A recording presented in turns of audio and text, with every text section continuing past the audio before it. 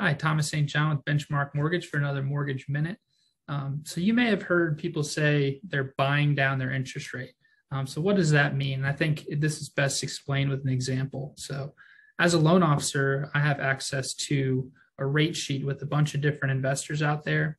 Um, and as an example, let's say the the rate today is seven percent, and there's no cost to get that rate.